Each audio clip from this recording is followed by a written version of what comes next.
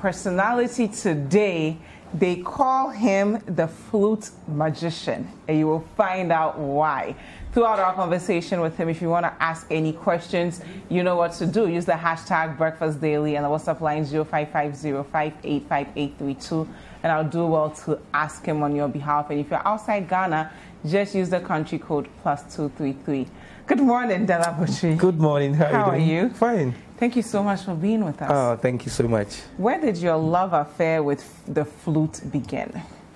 Uh, we're back in 1979 at Russia. Okay, Yes, that's when everything started. okay, But I always say it's a divine gift okay. because a pastor saw me playing with a Christmas toy, flute. Then he went to buy me a tenteben, which is the Ghanaian flute. He didn't buy me any other instrument. But this instrument that he bought for me has really, really been a blessing in my life Wow. until today. At what point did you see that, okay, this isn't just a gift or a hobby, but this is something I want to pursue professionally? That was 1990 when I joined the Pan African Orchestra. Okay. Because I was in my mind, I was thinking of how to read music and write music. So I was thinking of going to Winneba. Okay, But then, uh, the Nana Danso, late Nana Danso Abiam invited me to join his Pan African Orchestra, and I realized that he's teaching how to read music hmm. and write music. so you learned on So I was job. like, oh, this is what I want. So I want to be here. How was that experience like for you? It was so fun. I was so serious. Okay. I was thinking about it that this is my dream come true. Hmm. This is what I want to do for Ghana and this is what I want to do for Africa. Wow. Because in those days, if I play with other musicians who play guitar, keyboard, when they change the key from C to G or F, I'm not able to play. Hmm. And I was like, I wish I had G flute, I could play, but I never knew that everything was in the same instrument. So how, how, how is that discipline like actually learning music itself? you have to be very serious. Music is a very deep thing. You know, apart from the spiritual aspect, it's a very deep thing that you have to really put yourself in it. You have to be disciplined. Mm-hmm. Because for me, if I'm playing on stage, I don't open my eyes. I close my eyes. Hmm. If I if I write a music, or if you give me a script of transcription of music, I can I can learn it by heart and close my eyes and play it. I feel it better than How? than more disciplined. what, what do you go through as your, what, goes through your mind? Because it sounds very spiritual as you're explaining it. You know, if, if you go to church uh-huh. and you are praying, you close your eyes because you don't want to see any negative things around. Maybe somebody's wearing nice shoe, somebody, uh, a lady passing somewhere with a nice shirt that can, you know, you. distract your attention. So normally, if I'm on stage, I close all my eyes. Wow. Then I can be in the spirit to to glorify God first and to make people happy. Okay, so let's talk about your journey as a writer. I mean, how do you compose some of your work? It's a very good question. it's a very good question. I I do my composition based on my inspiration. Okay. Sometimes I, I, I might be driving and I will hear some melody in my mind. I remember one of the melodies that came to my mind some years back ago is um, I call the music um, high life jazz. So I parked somewhere, the melody was just dropping, dropping, dropping. Something was like pack, pack, pack. So I park and I start to hum it. Wow. After that, I have to write the notation. Then I recorded this song. Sometimes it's very strange. And It's just- also, it just happens like that. it happens like that. And sometimes I do, as we are sitting down here, I can compose music spontaneously. Oh, do it. We need freestyle. You sure? Yes, we're gonna be Okay. doing freestyle throughout.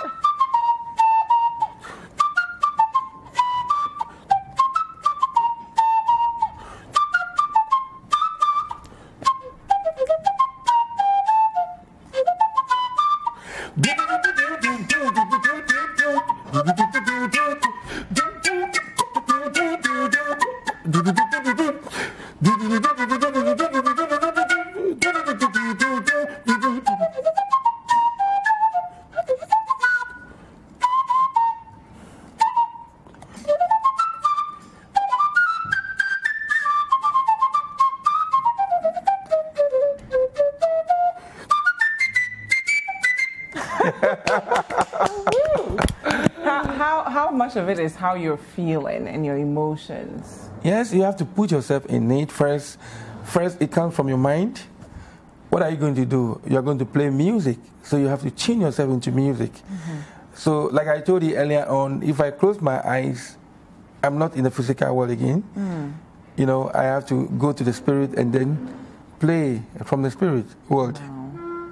Because if, if you are looking at people and you are playing, you are impressing the people. Yeah. Although if you close your eyes, you are impressing them, but something else is touching the heart of the people.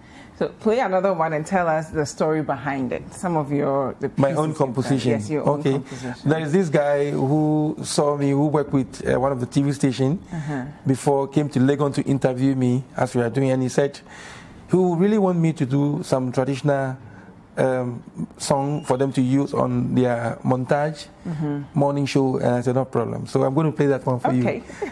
And it goes like this.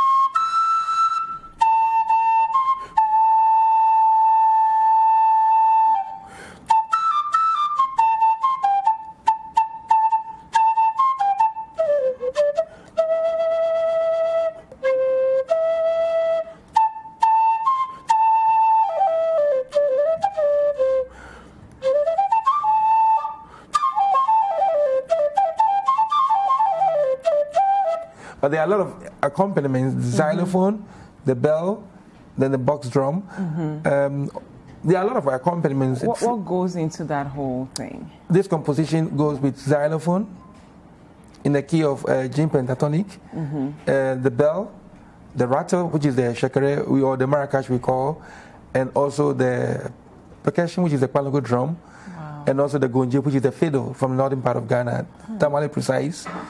And yes, I named this song Trema. Trema means uh, cowries. Is what we normally use as um, currency yeah. in those days before everything changed. Yeah. So it's a it's a rich music. So I have to f- define a name, you know, to be given to the music. So I I named this music Trema in Gang words. Huh? What drives you? To music? Yes. Like or to what, the composition? What, what inspires your life, the path you've chosen? All the things that you've, you, have you have done? God. God. Because if you love God, you know how to be humble. I, I don't want to disrespect people who I'm above, I'm older than them, or those that I'm older than them. I don't want to disrespect people. Mm-hmm. I want to respect people. So I always tell my friends that, or my boy that I work with, you will look young all the time if you smile. Serious. If you look smart, if you smile all the time, sometimes things pain me, but I have to take it more easier to to get music to overcome. But if God is love, and you love God, and you have to love music, and music will make you happy, mm-hmm. because this world we are passing through is a transition. We came from somewhere we don't have an idea. We are here. We don't know where we are going. So we need to make sure we have love of God. I have not seen God before, but if God say, I created man as my own image, I can see God in you. Mm-hmm. I can see God in myself. So there's the communication, and this is my inspiration. I use all the time. Wow. How important is it for young musicians to invest in their craft and actually learn it the right way than saying, I have a talent, I'm just going to run with it and start start playing? Well, there are different kinds of talent people working around. I started with my twenty and my interest was there. Or that's where my calling is. And somebody will invest into the music or the craft. Maybe he wants to be a recording artist. It's also there. But music is a broad thing, it's a very deep thing. I teach music, I play music, and lecture music. Hmm. So I lecture for in various universities around the world, including University of uh, Colorado hmm. in the U.S., Basel University. You know, so this is where my craft has taken me because this is I'm talking about my side, but the young ones I think they have to understand music. Hmm. They are doing very well by creating lyrics and going to the studio. Not the lyrics is not yet a music until you put them into the musical structures. Yeah. I'm talking about chord progressions. I'm talking about melodic, what kind of rhythmic pattern are you going to use? Are you going to use basic or you are going to use polyrhythmic patterns in your music? So these are the areas. And where, where is your target? For me, I realized that my target is not only in Ghana, my target is across the continent or the In the whole world, really. The world. You know, when I met Stevie Wonder the first time I played with him, it was like, how dare you use this instrument? And what did you say? he was shocked. He was shocked. He said he wish he can see me. Aww. Yeah, that was way How back. was that experience like for you? It's an amazing, to be honest. I, I was going to the University of Colorado 2004, the same year, and I had a call from someone that I have to get ready. They want to engage us to perform with someone, but he didn't tell me it was Stevie Wonder. was? You know, but when I got to know, I was like, wow, I met Were him you again. starstruck? Yeah? Were you starstruck? Like, were you surprised? I played with him once, Uh-huh. but then I was under the Pan African Orchestra. And the second time I was like, wow, this is what I'm looking for. It's an amazing friend. He's a nice person. He smiles a lot. Yeah. And he's always doing the music with, you know, the I way think he shakes his Charles did that a bit too. You? No, Ray Charles. I think. Yeah, yeah, he also does that. Does that a little bit. Yeah. But who are some of the people you've worked with, and what have you learned? I work with, uh, play with Angelique Kidjo in the Ooh. Nobel Peace Prize concert. Oh, how was that like? amazing. To be honest, I was seeing about 150,000 people sitting, including presidents. You can see it on YouTube. Yes, to you. me and uh, Miatta. Fahnbulleh, Akable, um, you know Akable, right? Yeah, yeah, yeah. And um, Eric Antonio. And then there are a lot of artists from America. I play with also with, um, apart from Stevie Wonder, Richard Bona. I never worked with him. how do you stay humble in it all? I mean, through every, every place you've been in this world. That, that is my character. That's my character. Everybody knows me will tell you Dela Botri is always like this. Because I don't want to, like I told you, I don't want to offend people. If you, if you do, the only thing that makes me angry I can't even is when you you are late. angry.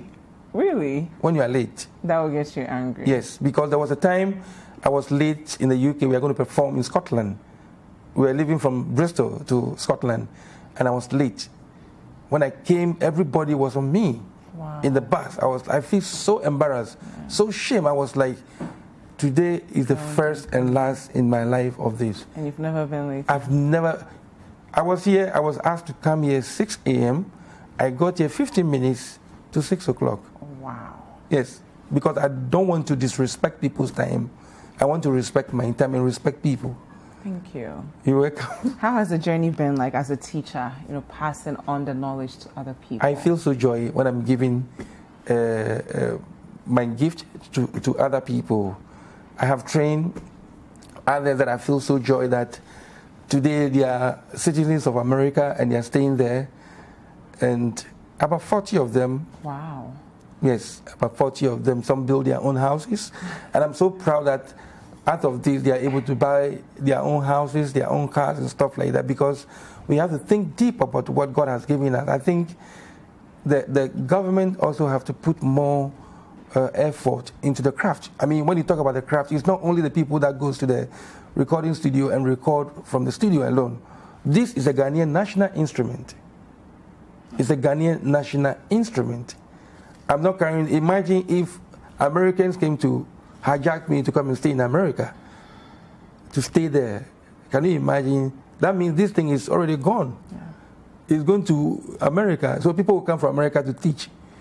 I remember when the, the US government invited me to come and teach. I was the first Ghanaian, actually, first Ghanaian musician the US government has invited to the US, which I got the call from the US Embassy that I'm selected to be part of the, a big program called International Visitor Leadership Program. Hmm. So we are going, and they asked me to come, and they filled my form for me at the embassy, and they asked me to bring my passport. It was free visa, I didn't pay. Wow. Yeah, yes.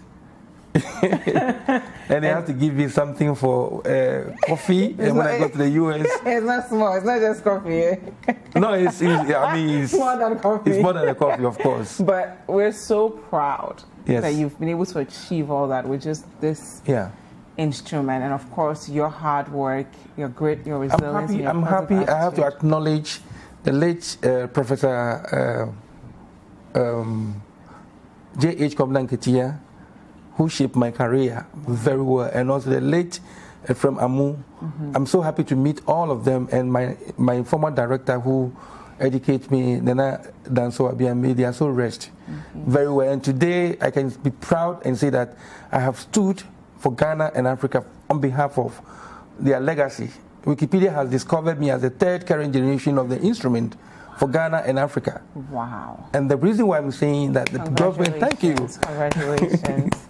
but myself, Paula, we all want to oh. learn from you. Do you have any classes for amateurs? Yes, I do. I do private classes. Okay. Um, I don't charge much, but it's affordable. okay. Currently, I have one student who is from the Ministry of Finance. Nice. Daniel, I'm sure he's watching. What number do we reach you to sign up for your classes? Because you need to pass this on. We all need to master this. Okay. We, we, might not be as good as you, but at least we can. We can. All right. My number is 0244 mm-hmm. 36 1071. Okay. 0244 36 1071. And your YouTube channel? My you YouTube is Dela Botri. D E uh, D E L A. Botri is B O T R I. Mm-hmm. And then Instagram is Dela D E L A underscore Botri B O T R I. Thank yeah, but so Twitter much. is handled by somebody. Okay. uh, Abek is the one handling it. okay. So I have a message here from John Sika, all the way from Volta region, who he says, I'm very grateful, Mr. Dela, and wish to be like you. Oh, God but bless the you. talent is not there. The talent is there. You can sign up for his classes and you'll get there. Right? Yes, everybody definitely. Everybody can be. Thank you so much, Dela, for yes. being with us. You're we welcome. have a quick video uh, from him. We'll check it out and then continue the show.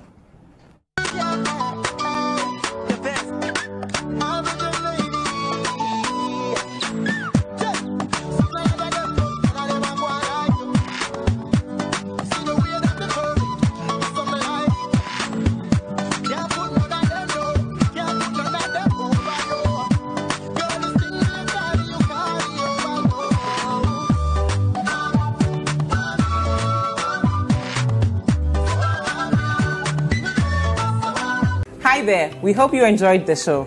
Make sure to subscribe, like, comment, and share with your friends. This is Breakfast Daily on Citi TV. Join the Breakfast Daily team Monday through Fridays from 7:30 a.m. to 10. Join us for breakfast daily only on Citi TV.